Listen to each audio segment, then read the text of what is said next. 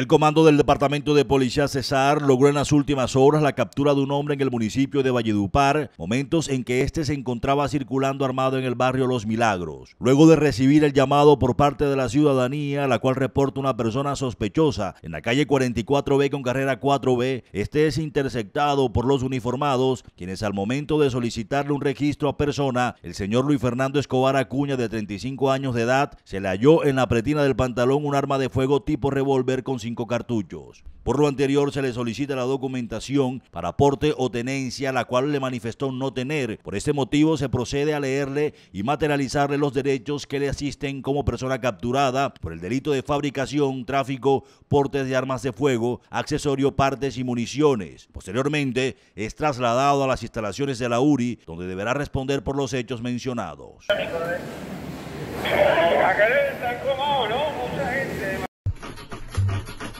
¿Qué estás haciendo ahí? Estoy hackeando el WhatsApp mi novia. ¿Y tú sabes cosas de eso de hacker? Obvio, también hackeo mi futuro. Ya hackeé la página de la universidad. Esta semana me gradúo y eso que voy en segundo semestre apenas. Ay, ¿tú cómo haces esa vaina?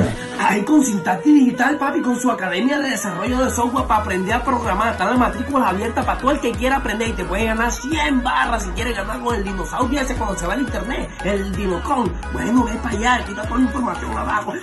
Ay, me está pegando cacho. Me está pegando cacho, mi novio.